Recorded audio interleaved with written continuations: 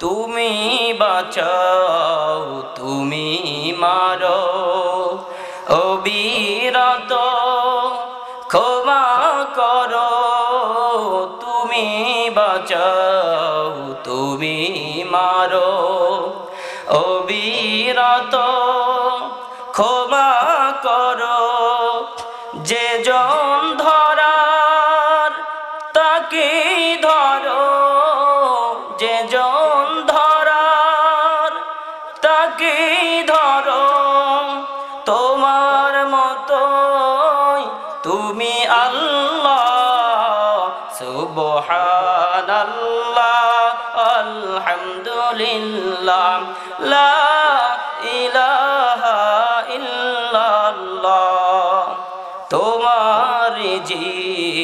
খেয়ে পড়ে।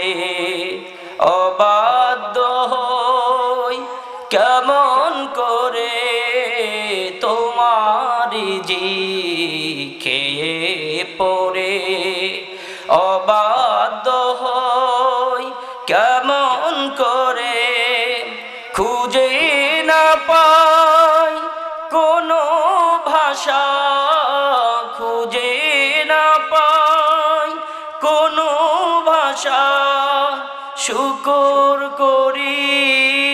তুমি আল্লাহ, সুবহানাল্লাহ, আলহামদুলিল্লাহ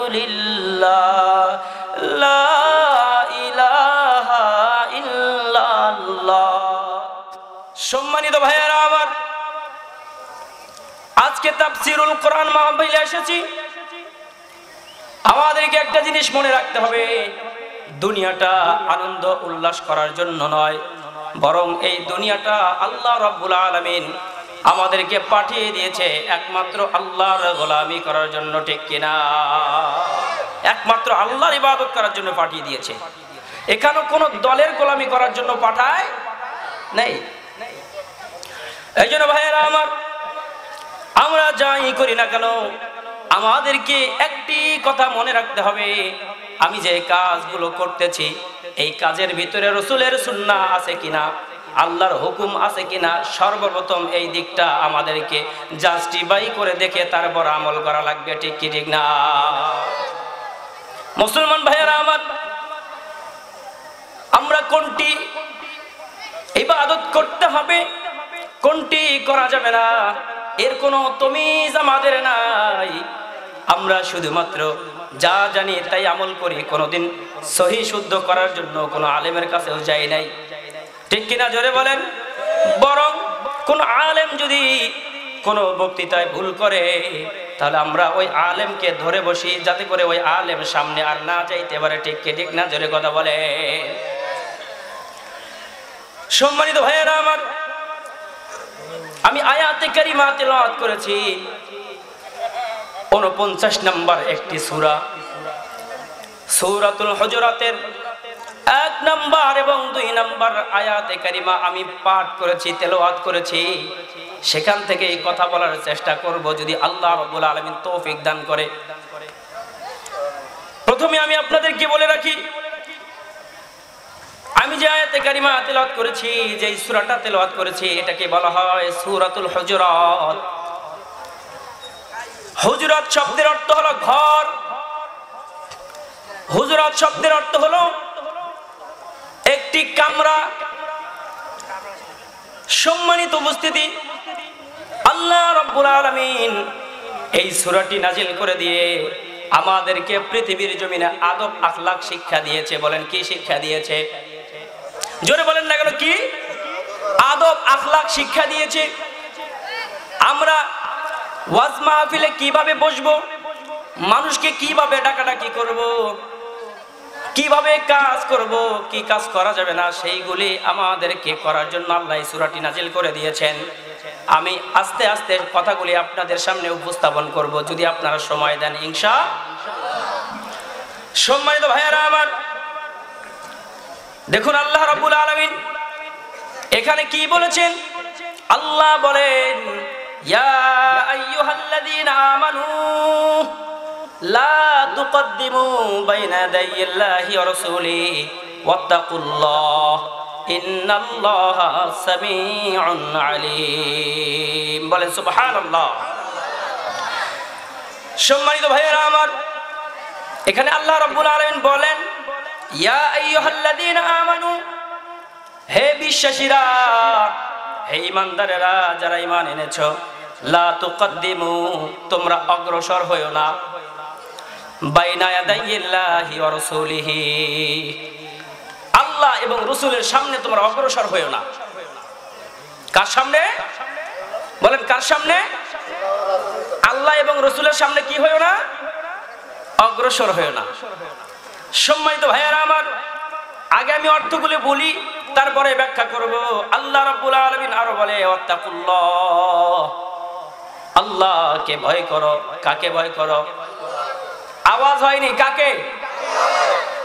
আল্লাহকে ভয় করো। ইন্নাল্লাহ, নিশ্চয় আল্লাহ সামিউন, শুনেন, আলিমুম জানেন। তাহলে পুরা আয়াতের অর্থ কি হলো? হে বিশ্বাসীরা হে ইমানদারেরা তোমরা অগ্রসর হইও না। আল্লাহ এবং রসুলের সামন দিয়ে এবং আল্লাহকে ভয় করো, নিশ্চয় আল্লাহ সব জানেন এবং শোনেন। এখন আসেন ব্যাখ্যা করি, আল্লাহ রব্বুল আলমিন আমাদেরকে এখানে কি বুঝাইতে যাচ্ছে? আল্লাহ বলতেছে, পৃথিবীর মানুষেরা, তোমরা আল্লাহ এবং রসুলের সামনে অগ্রসর হয় না। তোমরা আল্লাহকে ভয় করো। তাহলে এখন বলতে পারেন, হুজুর, এখন তো আল্লাহ রসুল আমাদের সামনে নাই, তাহলে এখন আমরা কাকে ভয় করব, কার সামনে দিয়ে চলবো না? এখন কি রসুল আছে? জোরে বলেন, আছে। আওয়াজ হয়নি ভাই, কি মন খারাপ আপনাদের? ওয়াজ শুরু করব ভাই, একটু পরে। আপনাদেরকে আমি একটু গুছায় এনে দিছি, এতে কি মন খারাপ? সম্মানিত ভাইয়ারা আমার, আল্লাহ তাআলা বলে তোমরা রসুলের সামনে অগ্রসর হয় না। এই কথার ব্যাখ্যা আমি করতেছি, শুনেন। এই জমানার ভিতরে আল্লাহ রসুল নাই, কিন্তু ওয়ারাসাতুল আম্বিয়া আছে। ওয়ারেসে নবী আছে। ওলামাই কেরাম আছে। তাদের সামনে আমাদেরকে দাম্বিকতা দেখাইয়া হাঁটা চলা করা যাবে না। ঠিক কি, ঠিক না? জোরে বলে এখন দেখেন প্রেক্ষাপট কেমন? একজন বয়বিষ্ট আলেম এই দিক দিয়ে যাইতেছে। আমি তার সামনে দিয়ে এমন ভাবে চলাফেরা করি। মনে হচ্ছে যে ওই আলেমই বুঝে আমার থেকে ছোট। ঠিক কিনা জোরে বলে? এই জমানার ভিতরে নবী নাই, কিন্তু ওয়ারাসাতুল আম্বিয়া আছে, নবীর ওয়ারেস আছে। তাদেরকে আমাদেরকে সম্মান করতে হবে। ঠিক কি, ঠিক না জোরে বলে? এখন দেখেন এমন একটা জমানার ভিতরে এসেছি, যেই জমানার ভিতরে উলামায়ে কিরামের কোনো দাম নাই। ঠিক কি ঠিক না? জোরে কথা বলে। আওয়াজ হয়নি ঠিক কি ঠিক না? কারণ ওলামাই কেরাম যখনই হকুল্লাহ আল্লাহর হক নিয়ে এবং হক কথা জমিনে ছড়িয়ে দেওয়ার জন্য ওয়াজ মাহফিলে বসে পড়বে বিভিন্ন ভাবে তাকে বাধা দিবে। সামাজিক ভাবে তাকে বাধা দেওয়া হবে, ব্যক্তিগতভাবে তাকে বাধা দেওয়া হবে এবং রাষ্ট্রীয়ভাবে বাধা দিয়ে তাকে সাথে সাথে জেলের ভিতরে ঢুকাইতে হয়। ঠিক কি, ঠিক না? জোরে বলেন, ঠিক কি, ঠিক না? আমি প্রথম দিকে একটা স্লোগান শুনলাম। প্রথম যে বক্তা আলোচনা করলেন, উনি বলেছেন, লিল্লাহে তাকবীর। আর আপনারা বলেছিলেন, আল্লাহু আকবার। এবং বক্তা বলল, আল কোরআনের আলো, আপনারা বললেন ঘরে ঘরে যা তাহলে আল কোরআনের আলো যদি ঘরে ঘরে ঢুকাইতে পারতাম আল্লামা সাইদি সাহেব আর জেলে থাকতে পারতো না। আওয়াজ হয়নি, ঠিক কি ঠিক না? আল কোরআনের আলো যদি ঘরে ঘরে ঢুকতো, আল্লামা মামুনুল হক সাহেব আজকে জুলুমবাজির জালেমের জিন্দানখানায় বসবাস করতো না, ঠিক কিনা এদের অপরাধ হলো আল্লাহর দিনের কথাগুলি মানুষের সামনে প্রকাশ করা এবং ব্যক্তির অপরাধগুলি মানুষের সামনে তুলে ধরা। এটাই তাদের অপরাধ। ঠিক কে, ঠিক না, জোরে বলে? মুসলমান ভাইয়ারা আমার, আমি যে আয়াতে কারিমাগুলি তেলাওয়াত করতেছি, আমি যে কিতাবটা থেকে তেলাওয়াত করতেছি, এটা কি কোনো মানুষের কিতাব? জোরে বলতে হবে, মানুষের কিতাব? আচ্ছা মানুষের কিতাব বাদ দিলাম, এইটা কি কুড়িগ্রামের ভাষায় লেখা হয়েছে? নীলফামারীর ভাষা ঢাকার ভাষায় লেখা হয়েছে। কোনো ভাষায় লেখা হয় নাই। এবং এটা কোনো মানব রচিত কিতাব নয়। বরং আল্লাহ তাআলা বলে, লাইসা হাযা কালামু এই কোরআন আমি আল্লাহ নাজিল করেছি। আওয়াজ হয়নি আওয়াজ হয়নি, সুবহানাল্লাহ। সম্মানিত ভাইয়েরা আমার, এই কোরআন আল্লাহর কোরআন। এই আল্লাহর কোরআনের কথাগুলি মানুষ যখন মানুষের সামনে বাস্তবায়ন করার জন্য চলে যায়, বিভিন্নভাবে বাধা দিয়ে তাকে এই দুনিয়ার মানুষদের সামনে লাঞ্ছনা, হেনস্থা করা হয়। ঠিক কিনা? তো যাই হোক, আসুন আমরা আলোচনা শুরু করি। দুনিয়ার ভিতরে মানুষের আলোচনা নিয়ে বসে থেকে সময়গুলোকে নষ্ট না করে আমরা যদি সময়গুলোকে কাজে লাগাইতে পারতাম তাহলে আমাদের আমল নামাগুলি আমাদের আমল নামার সবগুলি না জানি কত বড় ভারী হয়ে যেত ঠিক কি ঠিক না সম্মানিত ভাইয়েরা আমার একজন আল্লাহ রসুল বলে قال رسول الله صلى الله عليه وسلم استكثروا فيه من أربعين صال আল্লাহ রসুল বলেন পৃথিবীর মানুষেরা ভালো করে শোনো দুনিয়ার জীবনে তুমি দুনিয়ার জিন্দিগিতে চারটা কাজ বেশি বেশি করবা। আওয়াজ দিয়ে বলতে হবে কয়টা কাজ? আওয়াজ হয়নি কয়টা কাজ? চারটা কাজ বেশি বেশি করতে হবে। এক নম্বরে আল্লাহ রসুল বলে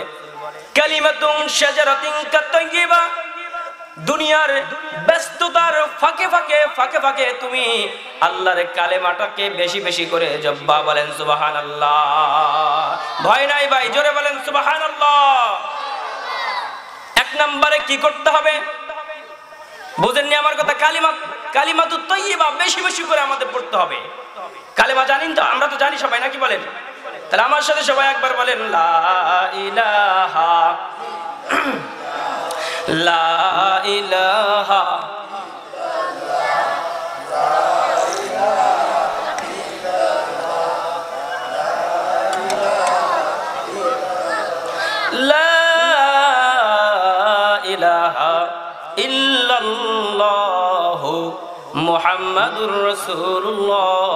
সকালে বলি সাল্লাল্লাহু। তার এক নাম্বার কাজ হলো আমাদেরকে বেশি বেশি করে কালিমা তৈবা বেশি বেশি পাঠ করা। এর ফজিলত কি? যদি কোনো বান্দা একিন এবং বিশ্বাসের সাথে যদি একবার কালিমা তৈবা পাঠ করতে পারে, আল্লাহ তাআলা তার পিছনের সব গুনাহ মাফ করে দেয়। সুবহানাল্লাহ, অনেকেই বলেনি সুবহান আল্লাহ বলেছেন, আল্লাহ রসুল সাল্লাহ আলহিহাসাল্লাম বলছেন তে বান্দার আমল নামায় একটা উহুদ পাহাড়ের সব লাগা হয়েছে। আবার সুবাহান আল্লাহ বললেন, তো আবার আরেকটা উহুদ পাহাড় পরিমাণ সব আপনার আমল নামায় জমা করা হলো। এখন সাহাবিদেরকে আল্লাহ রসুল বলতেছেন, ইয়া রসুল আল্লাহ এই উহুদ পাহাড়টা কত বড়? আল্লাহ রসুল বলতেছেন এই উহুদ পাহাড়টা তোমরা চোখে যেভাবে দেখতেছো, নিজের চোখে যে পরিমাণে পাহাড়টা দেখতে পারতেছ, এইটা পূর্ণাঙ্গ উহুদ পাহাড় নয়। যে হাজি সাহেবগণ হজে গেছেন, আপনারা অবশ্যই উহুদ পাহাড়টা দেখেছেন। এই উহুদ পাহাড় আমরা এমনিতেই যে পরিমাণে দেখতে পাচ্ছি, আল্লাহ রসুল বর্ণনা দিয়েছে যে এই পাহাড়টা উপরে যতটুকু, তার থেকে তিন গুণ বেশি মাটির ভিতরে। জোরে বলেন সুবাহান তাহলে এবার ভেবে দেখেন, এই উহুদ পাহাড়টা কত বড়? আর আল্লাহ রসুল বলছে, যদি কেউ একবার সুবাহান আল্লাহ বলে, তো এই উহুদ পাহাড় পরিমাণ সব বান্দার আমল নামায় জমা করা হয়। সম্মানিত উপস্থিতি তাহলে এক নম্বরে হলো কালেমা পড়া, দুই নম্বরে আল্লাহ রসুল সাল্লাম বলে, আস্তাগফিরুল্লাহ, বেশি বেশি করে তওবায়ে ইস্তেগফার পাঠ করা। এটি আল্লাহ বলেছে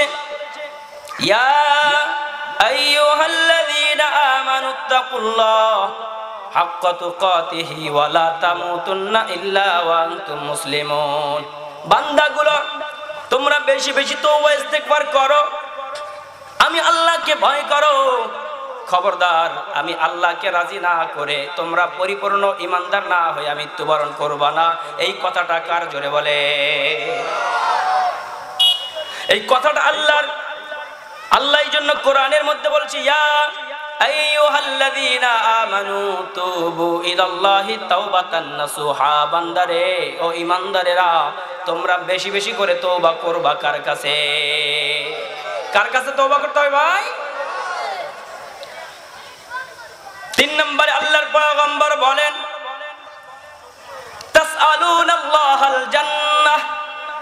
বেশি বেশি করে তোমরা আল্লাহ রাব্বুল আলামিনের কাছে জান্নাত চাও। কি চাইতে হবে?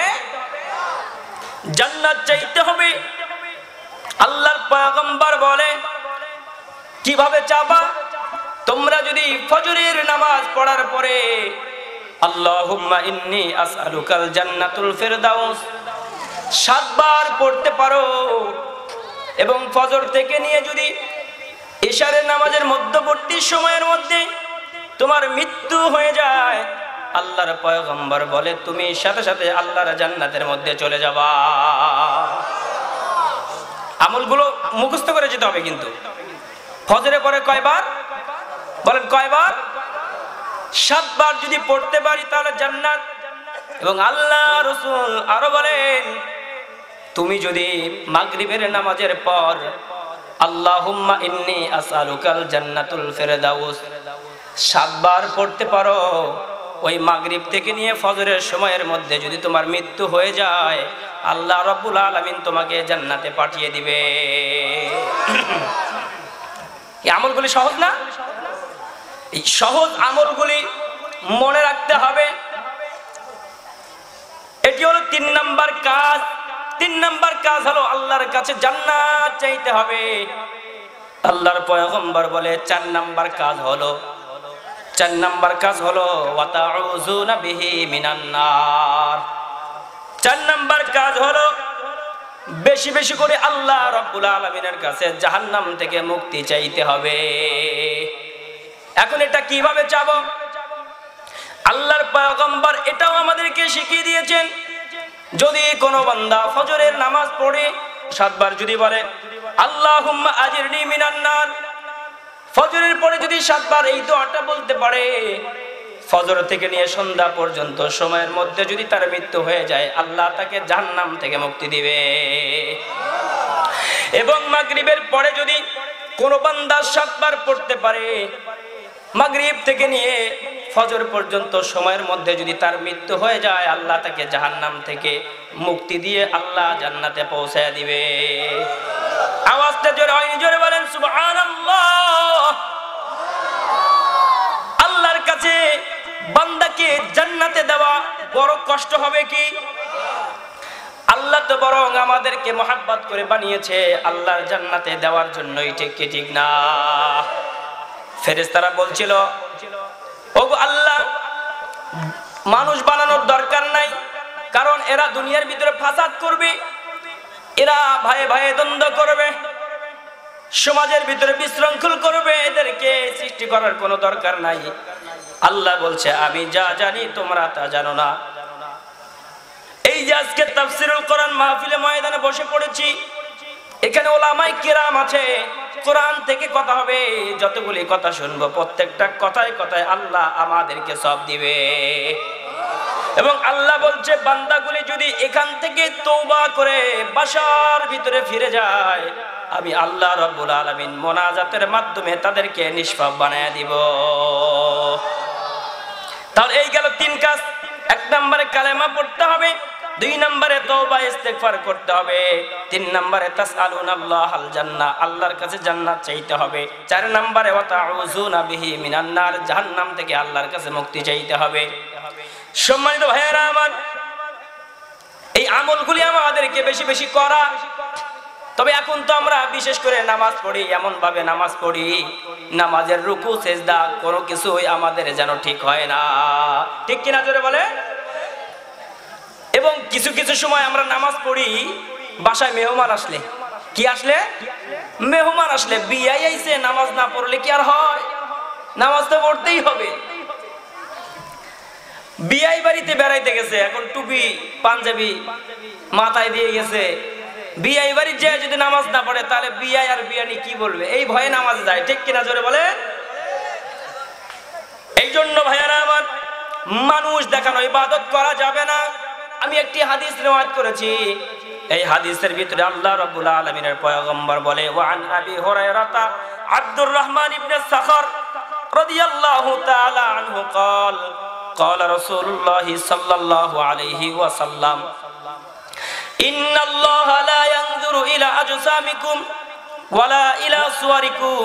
ওয়ালা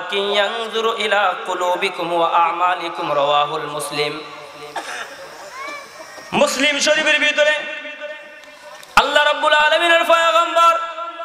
আমাদেরকে একটা মেসেজ দেয়, ও পৃথিবীর মানুষেরা, তোমরা ইবাদত করতেছ কাকে খুশি করার জন্য? তোমরা আমল করতেছো কাকে খুশি করার জন্য? তোমরা কোরআন রেওয়ায়ত করতেছো কাকে খুশি করার জন্য? তোমরা জিকির করতেছো কাকে খুশি করার জন্য? তোমরা নামাজ পড়তেছো কাকে খুশি করার জন্য? আল্লাহ রাব্বুল আলামিন। এই সব কিছু দেখে না?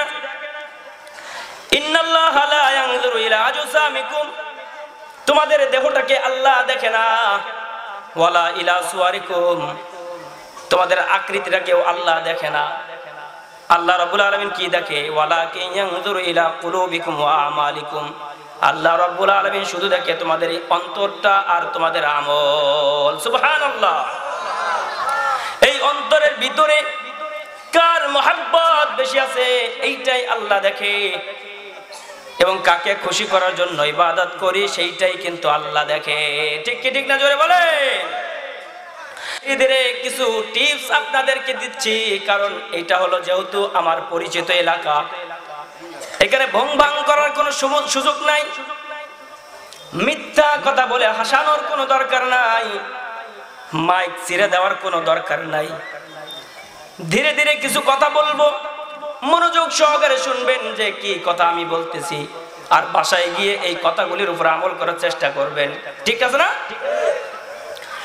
ভাইয়েরা আলামিনের পয়গম্বর বলে قال رسول الله صلى الله عليه وسلم ثلاثه لا تراع من النار আল্লাহর পয়গম্বর বলেন তিন শ্রেণীর ব্যক্তি যাদের চোখ জাহান নামে জ্বলবে না সুবহানাল্লাহ বললেন না কয় শ্রেণীর তিন শ্রেণীর ব্যক্তির চোখ জাহান নামের আগুনে জ্বলতে পারবে না তার মধ্যে এক নাম্বার আল্লাহর পয়গম্বর বলে, আইনুন হারাসাত ফি সাবিলিল্লাহ, আইনুন হারাসাত ফি সাবিলিল্লাহ। যারা আল্লাহর রাস্তায় পাহারা দেয়, যারা আল্লাহর রাস্তায় কি দেয়? পাহারা দেয়। এই চোখগুলি আল্লাহ রব্বুল আলমিনের জাহান্নামের আগুন স্পর্শ করতে পারবে না, জোরে বলেন সুবাহান আল্লাহ খারাপ লাগতেছে আপনাদের? ভালো করে শুনেন। দুই নম্বরে আল্লাহর পয়গম্বর বলে খশিয়াতিল্লাহ। যেই চোখগুলি আল্লাহ রব্বুল ভয়ে কেঁদে দেয়, আল্লাহ রব্বুল ওই আগুনে জ্বালাবে না বলেন সুবাহান যেই চোখগুলি আল্লাহ রব্বুল আলমিনের ভয়ে কেঁদে দেয়, আল্লাহ রব্বুল আলমিন ওই চোখগুলি জাহান নামে জ্বালাবে না। পৃথিবীর জমিনে বহু মানুষ আছে যারা গভীর রাতের ভিতরে উঠে আল্লাহ রব্বুল আলমিনকে খুশি করার জন্য নিজের চোখের পানিগুলি ছেড়ে দেয় আর মাওলাকে বলে, আল্লাহ, আমি বড় পাপি আসমানের নিচে, জমিনের উপরে আমার থেকে বড় পাপি আর কেউ নাই। এই কথা গুলো বলে বলে নিজের অপরাধগুলি তুলে ধরে আল্লাহর কাছে কান্নাকাটি করে। আর আল্লাহ রাব্বুল আলামিন বলে, বান্দা, তুমি যেহেতু আমার জাহান্নামের ভয় কেঁদে দিলা, আমি আল্লাহ তোমাকে জাহান্নাম থেকে মুক্তি দিয়ে দিলাম। সম্মানিত ভাইয়েরা আমার, এ গেল দুই নাম্বার কাজ। তিন নাম্বার ব্যক্তি হলো ওই ব্যক্তি বাহারিমিল্লাহ নাম্বার ব্যক্তি হলো ওই ব্যক্তি, যে হারাম কাজ থেকে নিজের চোখ দুটোকে হেফাজতে রাখে। কি কাজ থেকে ভাই? হারাম জিনিস দেখা থেকে নিজের চক্ষুগুলোকে হেফাজতে রাখে। কিন্তু এখন বাজার ঘাটে গেলে দেখা যায় এই চোখ দুটি দিয়ে টিভি, সিনেমার সিরিয়ালগুলো, নাটকগুলি, এই কৌতুকগুলো দেখে দেখে মানুষগুলো নামাজ ছেড়ে দিয়ে টিভির দিকেই বেশি তাকায় আর। আমি কি ভুল বললাম? বেশি বলে ফেললাম? শুধু যুবকরাকে দেখে তাই নয়, কিছু মুরব্বী বান্দা আছে, দাড়ি গুড়ি পেকে গেছে, কিন্তু তারপরেও টিভি দেখা ছাড়ে না। ওই বান্দা নিঃশ্বাস নিতেও পারে না, তারপরেও টিভিতে যায় ওই নাটকগুলো দেখে, ঠিক কি, ঠিক না? সম্মানিত ভাইয়ারা আমার। তাহলে তিন নাম্বার কাজ হলো, আমরা হারাম জিনিসগুলো এই আল্লাহর দেওয়া নেয়ামত চোখ দিয়ে আমাদের দেখা যাবে না? কারণ এই চক্ষুগুলো কে দান করেছেন? বলেন কে দান করেছেন? এই চক্ষুর এমন দাম এই চক্ষু যদি নষ্ট হয়ে যায়, পৃথিবীর কোন প্রান্তে গিয়ে আপনার এই নিজের চক্ষুর মতো আর চক্ষু পাবেন না, ঠিক ঠিক না? এই যে ক্যামেরা, আমাকে ভিডিও করতেছে, এই ভিডিওর জন্য একটা লেন্সের দরকার আছে। দূরের জিনিসগুলো কাছে টেনে এনে দেখার জন্য লেন্সের পরিচয় প্রয়োজন হয়। এই লেন্স না থাকলে দূরের জিনিস কাছে কাছে দেখা যায় না। এই জন্য ক্যামেরার লেন্সের প্রয়োজন হয়। কিন্তু আমরা জমিনে বসে আল্লাহর আসমান দেখি, এই এত বড় লেন্স আমাদেরকে আল্লাহ রাব্বুল আলামিন ফ্রিতে দান করে দিল। জোরে বলেন, সুবহানাল্লাহ। এই ক্যামেরার একটা লেন্সের দাম ষাট হাজার, সত্তর হাজার, আশি হাজার টাকা। এটা লাগানোর পরে দূরের জিনিস তারপরে টেনে এনে দেখে। কিন্তু আল্লাহ আমাদের এত বড় একটা লেন্স দিলেন, আকাশ দেখতে পাচ্ছি। মূলত এই লেন্সের কোনো ভাড়া কোনোদিন আল্লাহ আমাদের কাছে চাইছে। তাহলে চোখ দিয়ে কি দেখা যাবে না? হারাম জিনিস দেখা যাবে না?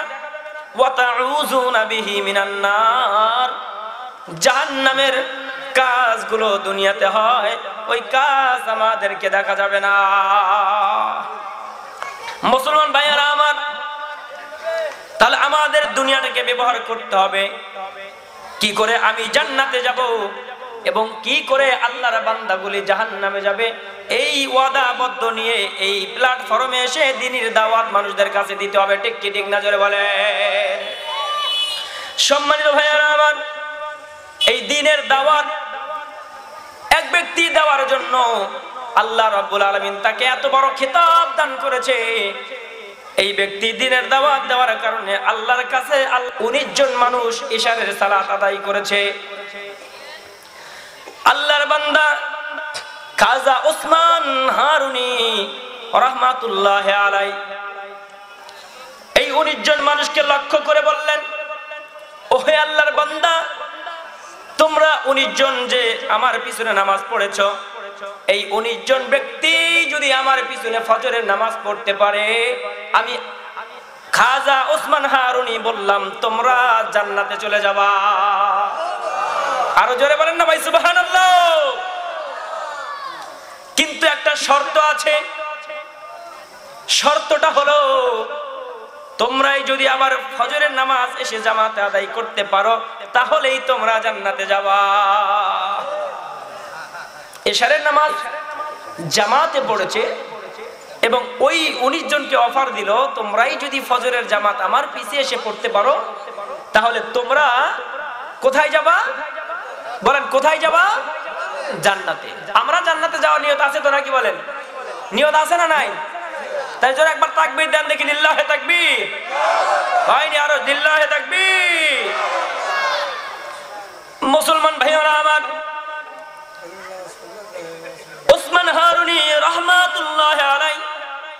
শেষে একটা শর্ত দিলেন, তবে তোমরা যে উনিশ জন আমার পিছনে নামাজ পড়েছো, তোমরা জানো কখনোই কারও কাছে গিয়ে না বলো যে আমি ওসমান হারুনি তোমাদেরকে এই অফারটা দিয়েছি।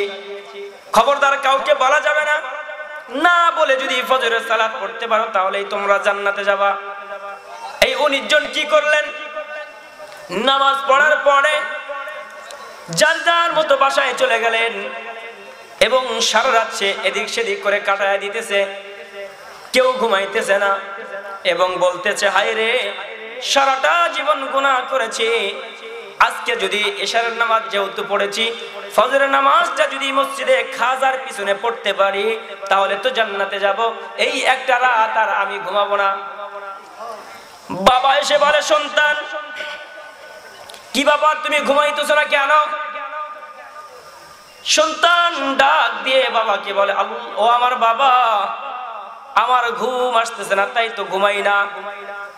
কিন্তু খাজা উসমান হারুনি যে বলেছিল, ফজরের নামাজ যদি জামাতে পড়তে পারি, তাহলে জান্নাতে যাব। এই কথা বলে না, কারণ হলো ওই যে খাজা ওসমান হারুনি বলেছে, এই কথা কাউকে বলা যাবে? দেখুন ভাইয়ারা আমার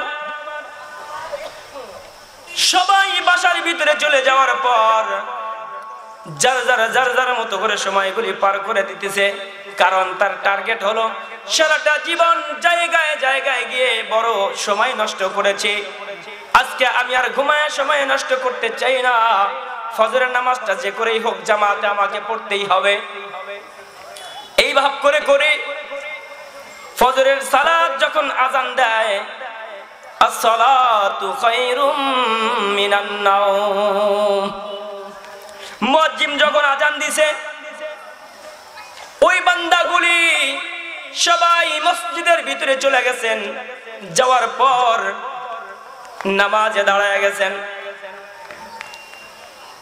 ওই হযরত ওসমান হারুনি রহমাতুল্লাহ আলাই ফজরের সালাতের ইমামতি করে মুসল্লিদের দিকে ঘুরে যখন বসেছেন, আপনাদের মসজিদে ফজরের নামাজের পর যেই ভাবে ইমাম সাহেবগণ মুসল্লিদের দিকে ফিরে বসে, ওসমান হারুনি রহমাতুল্লাহ আলাই সেই দিকে ফিরে বসেছেন।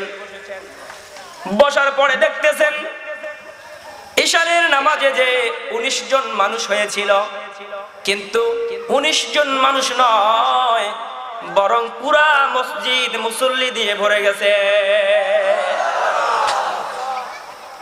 ওসমান হারুনি রহমতুল্লাহ আলাই তাকায় দেখলেন কেরে এতগুলি মানুষ কেন? আজকে এতগুলি মানুষ কেন নামাজে এসেছ? তিনি একটু দাঁড়ায় গেলেন। দাঁড়ায়া নজর করে দেখে শুধু মসজিদ নয় মসজিদের বারান্দা পর্যন্ত মুসল্লি দিয়ে ভরে গেছে। উনি আর একটু তাকায় দেখলেন, ভালো করে নজর করে। আজব ব্যাপার, মানুষ তো উনিশ জন হওয়ার কথা ছিল। উনিশ জন না হয়ে কেন মসজিদের বারান্দা পর্যন্ত ভরে গেল? নজর করে দেখে, শুধু বারান্দা নয় মসজিদের সামনে ছিল ঈদগাহ মাঠ। ঈদগাহ মাঠ পর্যন্ত মানুষ দিয়ে ভরে গেছে। হাজার হাজার মানুষের কারবার। আল্লাহর অলি ডাক দিয়ে বললেন, কে রে, কে করেছেন এই কাজ? কে এদেরকে মসজিদে আসতে বলেছেন? একটু দাঁড়ায় বলেন দেখি। প্রথম জনকে বলল, তুমি দাঁড়াও। তুমি কি বলেছ নাকি তাদেরকে আসার জন্য? প্রথম জন বলল, না, খাজানা। আপনি যেহেতু নিষেধ করেছেন, কাউকে বলা যাবে না। আমি এই কাজ করিনি। কারণ আমার বাবাই শুয়েছিল আমার পাশে। আমার বাবাকে আমি বলি নাই, বাবা। নামাজে যেতে হবে। খাজা বলেছে, যদি নামাজ ফজরের পড়তে পারো, তাহলে জান্নাতে যাওয়া। এই কথা বলি নাই। আপনার নিষেধ থাকার কারণে। এই রকম করে প্রত্যেক জনকে বলা হচ্ছে, দুই নাম্বার ব্যক্তি তুমি কি বলেছ? তিন নাম্বার ব্যক্তি তুমি কি বলেছ? চার নাম্বার ব্যক্তি তুমি কি বলেছ? পাঁচ নাম্বার, ছয় নাম্বার, এই করে করে উনিশ নাম্বার পর্যন্ত চলে গেলেন। কেউ বলল, না না না না, আমি তো বলিনি। বাবা বলতেছে, আমার পাশেই শুয়েছিল আমার যোগ্য সন্তান, যার উপর নামাজ পড়জ হয়েছে। আপনি নিষেধ করেছেন, তাই তো আমি কাউকে বলিনি। আমার আপন সন্তানটাকেও আমি বলিনি। ও খাজা, জান্নাতে যেতে হবে, তাই তো আমি কাউকে বলিনি। সবাই অহংকার নিয়ে বলতেছে, আনন্দের সাথে বলতেছে, আমি কাউকে দাওয়াত দেইনি ওই খাজা ভাবলো তাহলে এই লোকগুলি কোথায় থেকে আসলো? কে বা কারা তাকে দাওয়াত দিয়ে নিয়ে এসেছে? মুসলমান ভাইরা আমার।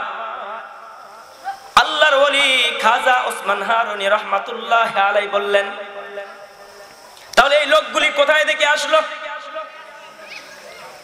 নজর করে দেখলেন, খাজা ওসমান হারুনি রহমাতুল্লাহ আলাইহের পায়ের নিচে বসেছিল।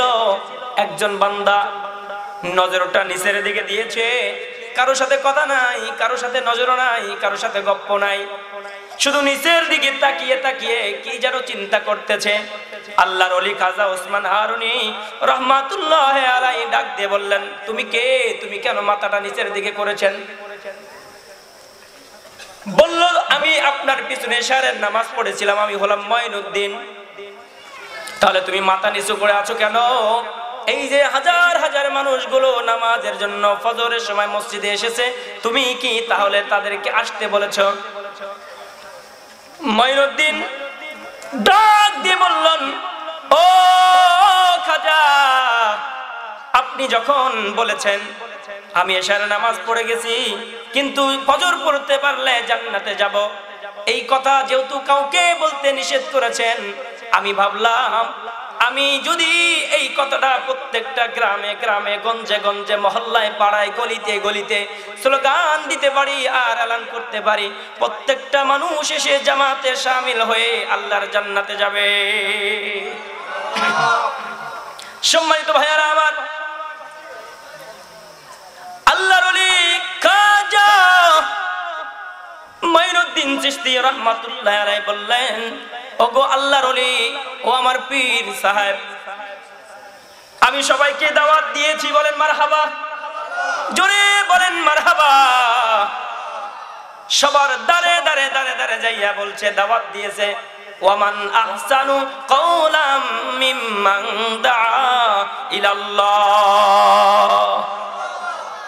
দিনের দাওয়াত মানুষের ঘরে ঘরে পৌঁছে দিয়েছে।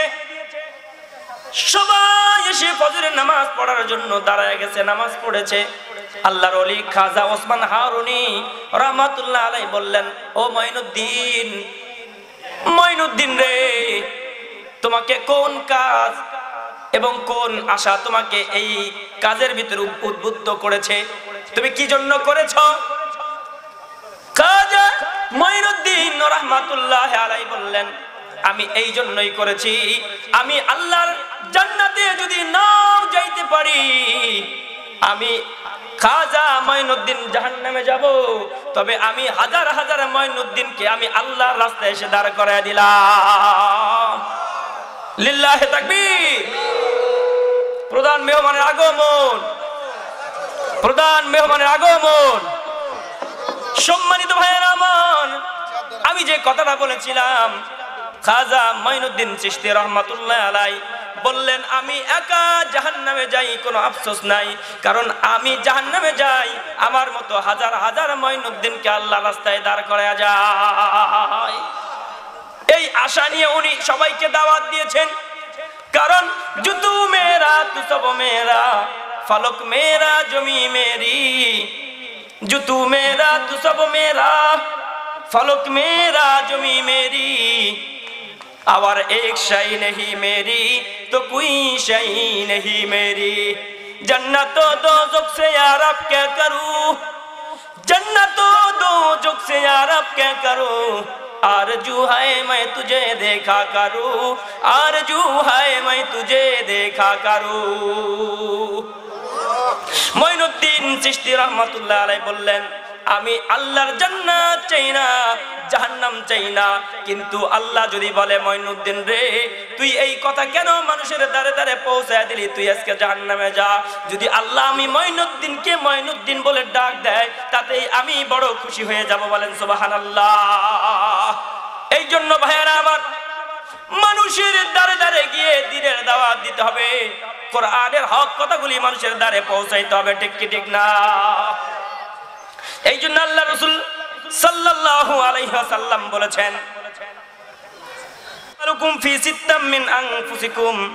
তোমরা ছয়টা জিনিসের আমানত আমি রসুলকে দাও। তাহলে আমি রসুল তোমাদেরকে নিয়ে জান্নাতে যাব। কয়টা জিনিসের কয়টা জিনিসের ভাই?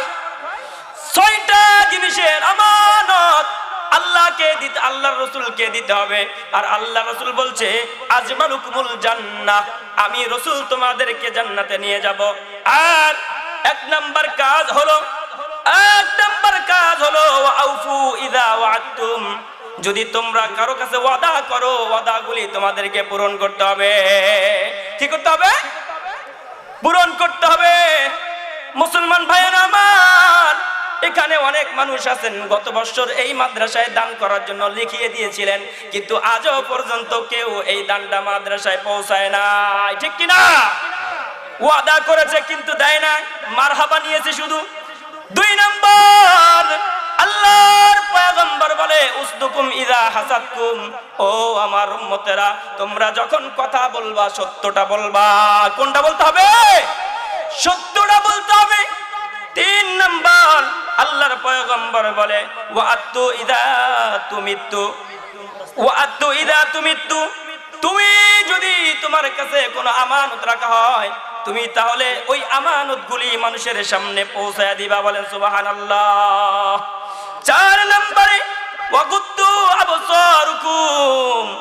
আল্লাহর পয়গম্বর বলে, ও দুনিয়ার মানুষেরা রে তোমরা আমানতের খেয়ানত করবা না আমানত বলে বুঝাই দিবা। অগুদ্দু আবসারুকুম। চার নম্বরে বলে তোমাদের নজর গুলিকে হেফাজত করবা? এই নজর দিয়ে যেন কোনো প্রকার খারাপই হয় না। পাঁচ নম্বরে বলে ওয়াহফুজু ফুরুজাহুম তোমাদের লজ্জা স্থানগুলিকে হেফাজত করবা। আজকে নজর করলে দেখা যায়, অনেক মানুষ রাস্তার পাশে পেশাব করতে বসে।